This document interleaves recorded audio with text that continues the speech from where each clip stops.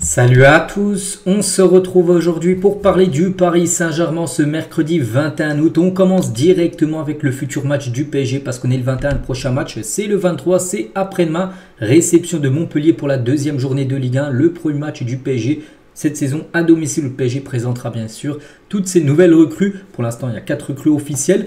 Donc, euh, coup d'envoi 20h45. On espère bah, le même résultat que lors de la première journée. Une victoire 4-1, bien sûr, tout le monde signe. Ça serait quasiment la première place assurée, bien sûr, pour le Paris Saint-Germain. On parlera beaucoup, bien sûr, de cette rencontre demain et surtout après-demain où on fera l'avant-match. Et concernant l'arbitre du match, sera lui à droite là, Marc Boulanger, voilà, qui sera l'arbitre du match. Et à noter que la conférence de presse de Luis Enrique aura lieu demain à 13h. Hein, il parlera bien sûr de cette rencontre. Concernant l'entraînement du jour, voilà quelques photos. On commence tout d'abord avec Hakimi. On peut voir également Désiré Doué qui va certainement jouer ses premières minutes. Bon, je pense pas qu'il sera titulaire après-demain, mais il jouera certainement la fin de match contre l'équipe de, contre l'équipe de Montpellier, où euh, bien sûr il sera présenté hein, en tant que nouvelle recrue. Donc voilà quelques photos Désiré Doué à l'entraînement. Concernant Fabien Ruiz aussi qui pourrait jouer, donc euh, voilà Fabien Ruiz un projet Iniesta hein, pour Fabien Ruiz, n'oubliez pas parce qu'il a coupé ses cheveux après avoir gagné euh, l'Euro. Le jeune João Neves qui risque d'être titulaire, il avait été remplaçant lors du match contre le Havre. Je pense qu'il sera titulaire pour le match après-demain. Euh, ou même euh, William Pacho, la nouvelle recrue qui devrait de nouveau lui aussi commencer euh, dans le 11 de départ après-demain. Et concernant un joueur, parce que là c'est les photos de l'entraînement, on peut voir la plupart des, des joueurs étaient là. Donc un joueur n'est pas encore là, c'est Kim Pembe. Bon, de base, quand ça a repris l'entraînement il y a plus d'un mois, le 15 juillet, il était là, la, pré-saison. N'oubliez pas qu'il s'est blessé, il y a eu un problème, pas son tendon d'Achille, il a été euh, opéré, mais un problème musculaire et Kim Pembe ne s'entraîne toujours pas avec le groupe du Paris Saint-Germain. Ces derniers jours, le, le Parisien suit un programme intensif en solo pour retrouver ses sensations athlétiques. Donc objectif, réintégrer le groupe et enchaîner les séances collectives, mais pour l'instant toujours blessé. Euh, voilà, donc euh, c'est vrai que ça commence à faire beaucoup, mais bon, c'est comme ça. C'est un joueur maintenant qui est fragile, on peut dire. Kim Pembe, il est très peu probable hein, de revoir Kim Pembe avant la trêve internationale de septembre. Donc la trêve, c'est début septembre. Normalement, le match à contre Montpellier et euh, les pro 1, je crois qu'il doit rester un autre, peut-être deux matchs après euh, Montpellier avant bien sûr euh, les matchs euh, des équipes comme l'équipe de France, ben, il devrait aussi être forfait. Il devrait peut-être revenir après la trêve internationale, on va dire mi-septembre. Presnel Kimpembe, on lui envoie bien sûr toujours beaucoup de force. On continue, on va parler cette fois-ci d'un départ officiel du côté du PSG. On a parlé ces derniers jours, ça y est, c'est fait. Les tweets du Paris Saint-Germain, Gabriel Moscardo prêté au stade de Reims. Le milieu de terrain brésilien rejoint le stade de Reims dans le cadre d'un prêt sans option d'achat. Le PSG souhaite beaucoup de réussite à Gabriel avec le stade de Reims. On en a parlé ces derniers jours, on a dit.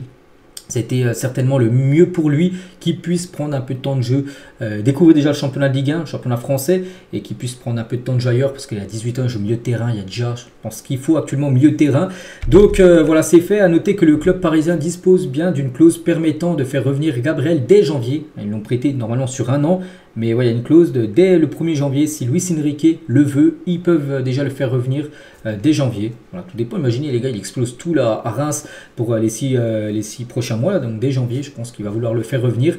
Donc sinon, il restera un an du côté de Reims. Donc bonne chance et on espère une réussite. On suivra bien sûr ses performances du côté de Reims. Donc il portera le numéro 19. Voilà, tout est fait pour Gabriel Moscardo. Bonne chance à lui il jouera contre le Paris Saint-Germain euh, cette saison. Un autre joueur aussi sur le départ, donc Moscardo, lui c'est officiel, on peut le voir en train de signer ce contrat. Un autre où c'est quasiment fait, c'est euh, Danilo Pereira, donc quasiment fait, après on ne sait pas encore où exactement, mais quasiment fait sur son départ. Et Al Ittihad s'intéresse à Danilo Pereira, donc de base il y avait Porto qui est intéressé, voilà le retour de l'international portugais, mais ne peut pas recruter le joueur car le montant est trop important pour Porto. Euh, voilà, parce que Porto était intéressé, mais le PSG je voulait 10 millions d'euros. Porto c'était trop cher. Et du coup Al Ittihad, eux, pourrait potentiellement payer ses 10 millions d'euros et pourrait peut-être filer du côté du championnat saoudien. Concernant un autre aussi sur le départ, lui aussi devrait partir, c'est quasiment sûr avant, avant la fin du mercato qui est maintenant dans 11 jours. Hein.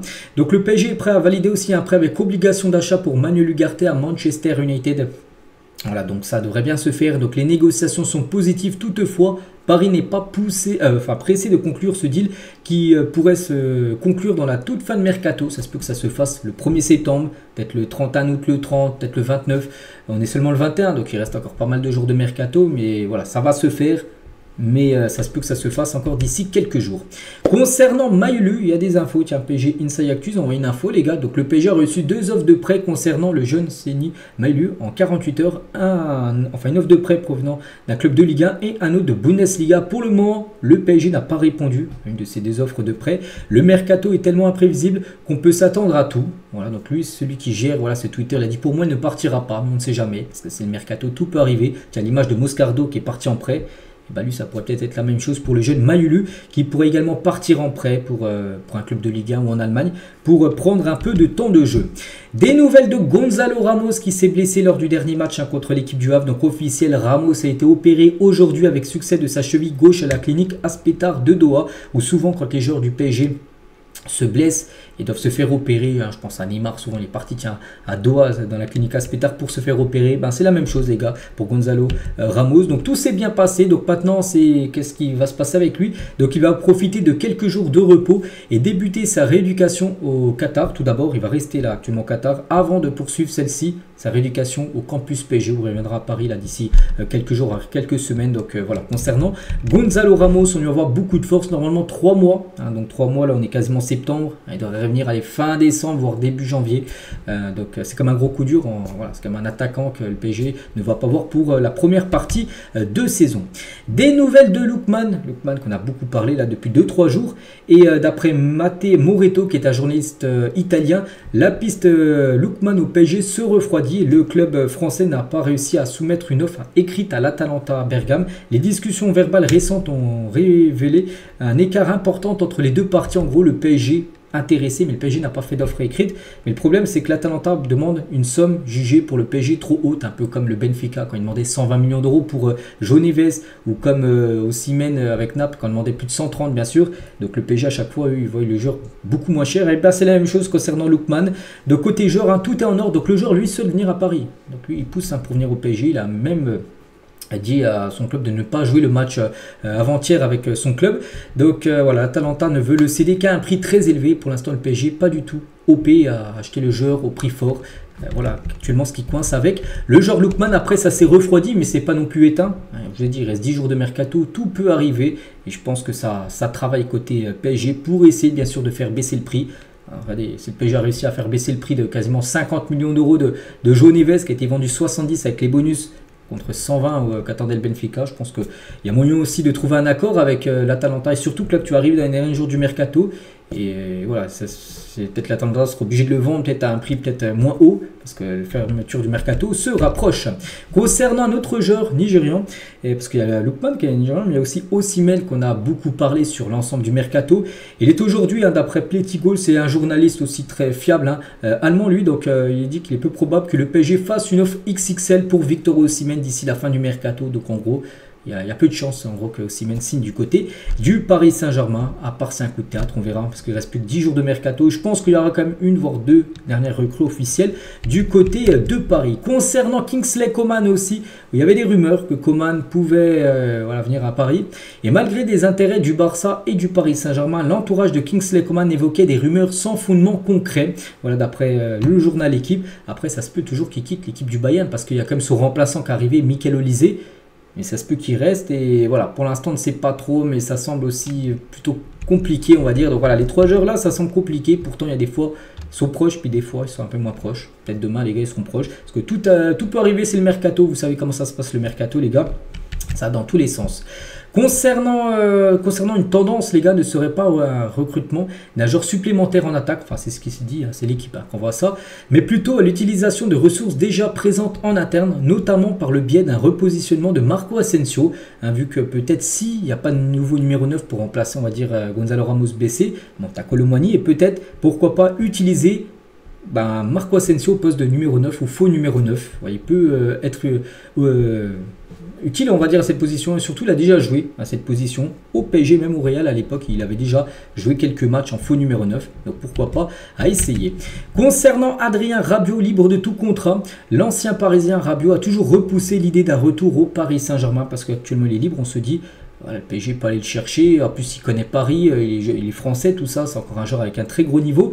Et euh, voilà, lui, un retour au PSG, c'est non Voilà, si les joueurs, comme je dis, à Paris, les gars, il ne faut pas faire venir ou faire revenir des joueurs qui ne veulent pas venir. Tu veux pas venir. Et ben, on lui souhaite bonne continuation pour la suite. Si Dina Ebembe est vendu par Francfort à Everton, le PSG recevra 25% de la plus-value réalisée parce qu'ils avaient mis ça, le PSG un pourcentage sur une plus-value. Donc là, lui, il va peut-être, euh, en genre, hein, bien sûr, il va peut-être être transféré à Everton. Et du coup, le PSG pourrait toucher 25% sur la plus-value. Donc s'il est vendu, j'en sais rien. Euh, par exemple, si le PSG l'avait vendu 30, il est vendu 45, le PSG touchera 25% des 15 millions d'euros, en gros la plus-value qu'il a sur le transfert. Un petit retour, tiens, en arrière, c'était il y a deux ans, jour pour jour. Et vous vous rappelez de, ce but magnifique. Le PSG s'imposait 7 buts à 1 sur la pelouse du LOSC avec un but au bout de je sais plus, 10 secondes de jeu. Il y avait eu Delango, il y avait eu, euh, il y avait les, stars, là, il y avait Messi, Neymar, Mbappé, tout ça. Et euh, il y a eu plein de décalages, tout ça. Ils n'avaient pas touché le ballon, en gros, Lille. Et voilà, en 4-5 passes, ça avait été un but de Kylian Mbappé qui avait lobé. Le gardien lillois, c'était il y a deux ans, euh, jour pour jour. On va parler de Didier Deschamps qui va annoncer sa liste des joueurs sélectionnés pour les deux prochains matchs. Donc il y a France-Italie, France-Belgique. Ce sera jeudi 29 août et il y aura certainement beaucoup de joueurs du PSG. Hein, je pense à, Dembélé, je pense à, comment dire, à, Warren Emery, je pense à Bradley Barcola, voilà, Colomwani aussi risque d'être appelé. Donc voilà, concernant bien évidemment cette liste. Et on finit tiens juste avec une une annonce en gros de Bruce Granek, je ne sais pas si vous connaissez, quelqu'un qui est fort sur, euh, sur FIFA, enfin anciennement. Donc lui, il a dit, hein, il est certain que le PSG sera bien meilleur collectivement sans Kylian Mbappé. Donc il a dit, les gars, sur un live Twitch, hein, le PSG gagnera plus de matchs sans Mbappé. L'année dernière, quand il ne marquait pas, il n'y avait pas de buteur par ailleurs. Là, les autres vont avoir plus de responsabilités plutôt que chercher tout le temps Mbappé à vouloir qu'il marque. Ben là, maintenant, vu qu'il est plus là, ben, ça sera aux autres, bien sûr, de prendre leurs responsabilités euh, à Barcola, à Dembélé, à, à euh, voilà, tous ces gens-là. Donc Mbappé, il fait ses stats, mais ses équipes ne gagnent jamais. Tous les attaquants que tu as au PSG, il n'y en a pas un pour euh, qui ça s'est bien passé sans lui. Le PSG sera bien meilleur collectivement sans Mbappé qu'avec lui.